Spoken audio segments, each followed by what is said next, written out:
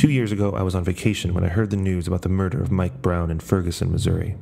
Since then, my head continues to spin, my feet continue to march, and my voice continues to chant Black Lives Matter.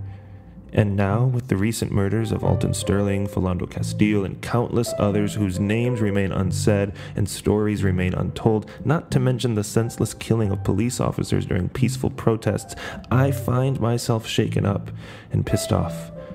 To borrow a phrase from organizers around the country, the whole damn system is guilty as hell. Or to borrow a phrase from the prophets of my faith tradition, how long? I am tired of seeing another person of color killed at the hands of the state. How long, how long will we march for justice? How long will we proclaim that Black Lives Matter? How long, O oh Lord? As long as it takes.